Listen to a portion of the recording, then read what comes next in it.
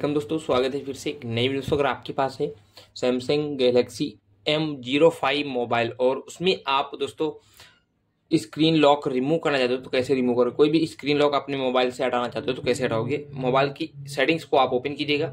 Settings को open करोगे तो इस तरीके से आपके मोबाइल में इंटरफेस हो जाएगा।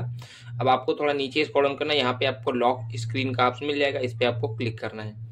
अब इस पर क्लिक करेंगे तो यहाँ पे आपको स्क्रीन लॉक टाइप का ऑप्शन ऊपर मिल जाएगा। इस पर क्लिक करेंगे। अब इस पर क्लिक करते हैं तो यहाँ पे आपने पहले से जो भी स्क्रीन लॉक बनाया है वो डालेंगे और कंटिन्यू करेंगे ऐसे ऐसे, मान लीजिए। और उसके बाद में आपको यहाँ पे नॉन का ऑप्शन मिल जाएगा तो नॉन वाले ऑप्शन पे क्लिक करेंगे। और यहाँ पे आपके मोबाइल में जितने भी लॉक रहते हैं वो सारे के सारे हट जाते हैं इस तरीके से।